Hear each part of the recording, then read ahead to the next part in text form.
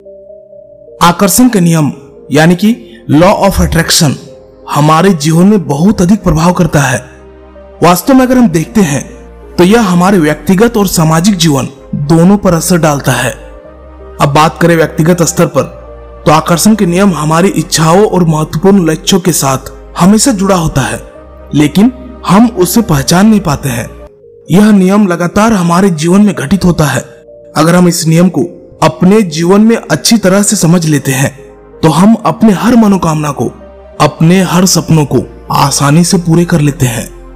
लेकिन अगर यहीं पर सामाजिक स्तर पर देखा जाए तो आकर्षण के नियम हमारी व्यक्तिगत रिश्तों और संबंधों पर भी असर डालता है।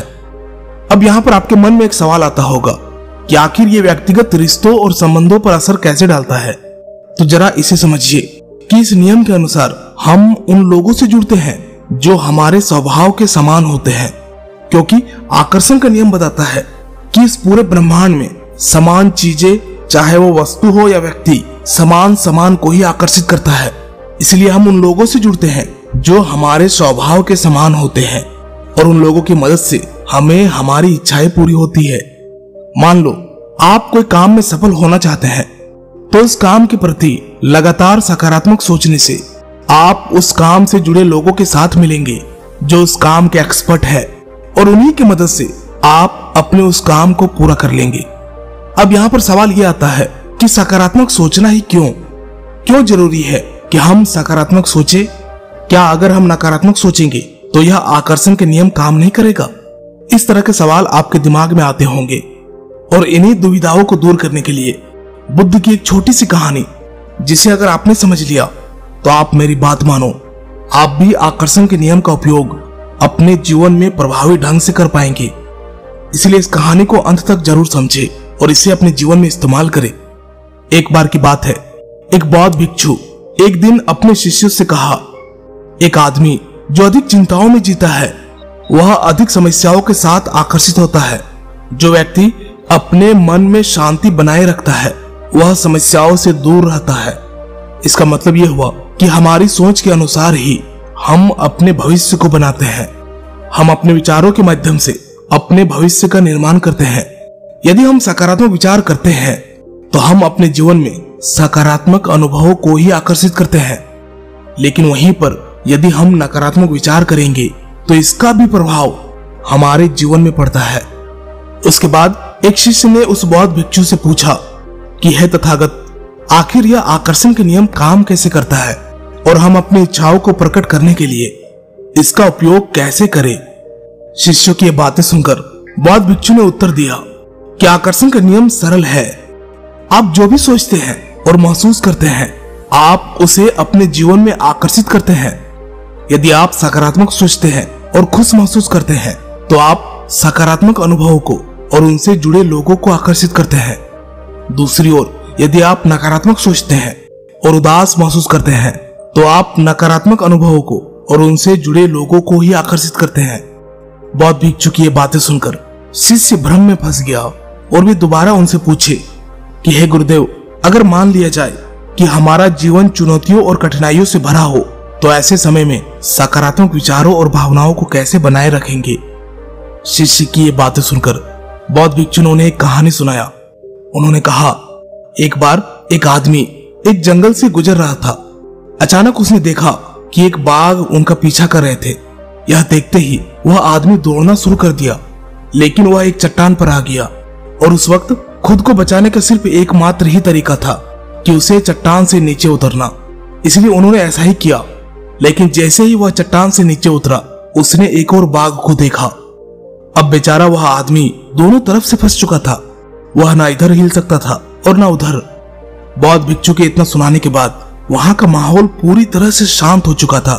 फिर बौद्ध भिक्षु ने आगे कहा कि जैसे ही आदमी ने चारों ओर देखा, उसने वहीं पर एक चट्टान के बगल में एक जंगली फल उगते हुए देखा। वह फल देखने में बहुत ही सुंदर लग रहा था। जैसे ही उस आदमी ने उस फल को देखा, उनसे रहा नहीं किया। उसने तुरंत उस फल को तोड़ा और उसकी मिठास का आनंद लेते हुए उन्होंने फल को खा लिया। उसी पल में जब वह फल को खा रहा था उस वक्त वह बाघों और उनकी चिंताओं के बारे में पूरी तरह से भूल गया था। दोनों बाघ वहाँ पर पूरी तरह से मौजूद भी थे, लेकिन वह आदमी उस वक्त सिर्फ़ और सिर्फ़ फल के स्वाद का आनंद ले रहा था। यहाँ पर कहानी को समाप्त करते हुए बौद्ध भिक्षु ने अपने शिष्यों को यह समझाया कि, हे भिक्षु, यह कहानी हमें यह सिखाती है कि हमारे जीवन में भी इसी तरह की चुनौतियाँ आती रहेगी और इन्हीं सब चुनौतियों के बीच में हम छोटी सी खुशी और सुख को पा सकते हैं। और हमें उन्हीं पलों पर ध्यान केंद्रित करने की ज़रूरत है। क्योंकि अगर हम उन छोटे से पल को ध्यान देते हैं तो हम थोड़ी देर के लिए सकारात्मक हो जाते हैं। हमारा मन सकारात्मकता में चला जाता है। हमारे मन में सकारात्मक विचार आने लगते हैं। और यही सकारात्मक विचार हमारे भीतर की ऊर्जा को सकारात्मक कर देती है। मान लो, अगर आप कोई काम अभी कर रहे हैं, और वो काम में आपको बहुत ही कठिनाइयाँ आ रही है, तब क्या आप उस काम को करना छोड़ दोगे? नहीं ना? लेकिन आप उस वक्त नकारात्मक महसूस कर रहे हैं। तो हमें उस वक्त अपने पुराने सफल कामों को याद करना चाहिए। ऐसा करने से हम उस वक्त थोड़ी देर के लिए खुशी पा सकते हैं। और यही खुशी हमारे भीतर सकारात्मकता को भर देती है, जिससे कि हमारे दिमाग में नए नए समाधान आने लगते हैं और हम उस काम को आसानी से कर पाते हैं। हमें उन्हीं छोटी छोटी खुशियों को पकड़ने की ज़रूरत है, लेकिन हमारी सबसे बड़ी गलती यही होती है कि हम सिर्फ़ अपनी कठिनाइयों को, परेशानियों को देखते हैं, जिससे हमारा जीवन और ज़्यादा नकारात्मक होता है। लेकिन जरा सोचो, अगर हम अपने परेशानियों के बीच में ही छोटी छोटी खुशियों पर ध्यान केंद्रित करना शुरू कर दे तो हम अपना ध्यान नकारात्मक से सकारात्मक की ओर स्थानांतरित कर सकते हैं, जिसका परिणाम ये निकलेगा कि हम अपने जीवन में अधिक से अधिक सकारात्मक अनुभव को ही आकर्षित करेंगे। फिर बाद भिक्षु यहाँ पर कहानी समाप्त करते हैं? और कहानी समाप्त करने के बाद अपने शिष्यों से कहते हैं कि ठीक इसी तरह आकर्षण के नियम भी काम करता है। आकर्षण का नियम पूरी तरह से हमारे विचारों पर चलता है और हमारे जीवन में हर तरह के विचार चलते रहते हैं और उन्हीं सब विचारों में से कुछ कुछ विचार सकारात्मक विचार होते हैं जो हमें छोटी छोटी खुशी दे सकते हैं। हमें सिर्फ़ उन्हीं सकारात्मक विचारों को पकड़ने की ज़रूरत है जिसका परिणाम ये निकलेगा कि हम आकर्षण के नियम को और अच्छे तरीके से अपने जीवन में उपयोग कर पाएँगे। दोस्तों बौद्ध भिक्षु की इस कहानी से हमें ये सीख मिलती है कि आकर्षण का नियम चुनौतीपूर्ण परिस्थितियों में भी सकारात्मक विचारों और भावनाओं पर ध्यान केंद्रित करके काम करता है। ऐसा करने से हम अपने जीवन में और अधिक सकारात्मक अनुभव को आकर्षित करते हैं, क्योंकि बुद्ध ने भी यही कहा था कि आज हम जो कुछ भी है, वो हमारे भूतकाल के विचारों के परिणाम है और हमारे जीवन में दोनों तरह के विचार चलते रहते हैं। हमारे मन में सकारात्मक विचार भी आते हैं और नकारात्मक विचार भी आते हैं और ये हमारे जीवन में लगातार चलता रहेगा। लेकिन जब भी हमारे जीवन में सकारात्मक विचार आए तो हमारा काम है कि हम उसे तुरंत पकड़े और उन विचारों पर कार्य करना शुरू कर दे। क्योंकि अगर हम ऐसा नहीं करेंगे तो सकारात्मक विचारों के बाद नकारात्मक विचार भी बहुत ही जल्द आएँगे, जो हमारे जीवन को तहस नहस करके रख देगा। इसीलिए जितने भी सकारात्मक विचार आपके जीवन में आए, उन्हें पकड़े और उनके अनुभवों को महसूस करें। तभी आप आकर्षण के नियम का प्रभाव अपने जीवन में देख पाएँगे और बहुत ही जल्द एक सफल व्यक्ति बन पाएँगे।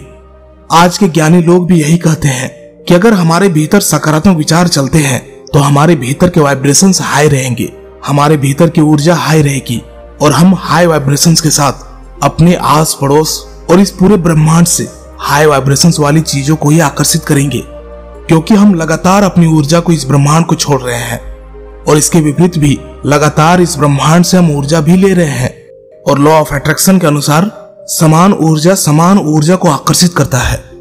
अगर हम सकारात्मक ऊर्जा इस ब्रह्मांड को छोड़ते हैं तो ये ब्रह्मांड भी हमें सकारात्मक ऊर्जा देती है और ये ऊर्जा हमारे जीवन में अवसर के माध्यम से या कोई व्यक्तिगत परिणाम के माध्यम से, जैसे आप कहीं जॉब करते हैं तो आपको अपने जीवन में उस तरह की अपॉर्चुनिटीज़ मिलेंगी, आप उस तरह के लोग से मिलेंगे आपके जीवन में वैसी घटनाएँ होंगी जो आपके लिए सकारात्मक हो।